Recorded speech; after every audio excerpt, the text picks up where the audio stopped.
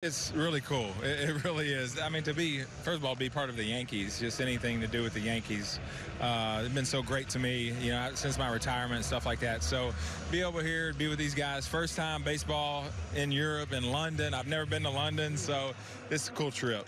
You know, I'm picturing how intense you were as a pitcher. And I'm thinking if you were starting one of these two games, you would have never been able to just enjoy the city. You'd have been just locked in on what's the mound going to be like, right? Yeah, exactly. There's no way I would have enjoyed it. You know, but, you know, if I would have pitched game one, then I could have enjoyed Saturday afternoon and Sunday. So, but if uh, if I would have had to pitch on Sunday, it wouldn't have been a good trip. what do you think the balance is like for these guys coming here, trying to enjoy some culture, but also knowing they have big games against the Red Sox as well? Yeah, I mean these games count, you know, so it's important and. Uh, that makes it a little tough. That makes it a little tough. But I think the guys are staying on their routine pretty good. You know, uh, they didn't jump right into, you know, after the travel we had, like, thank goodness they gave them another day off, you know.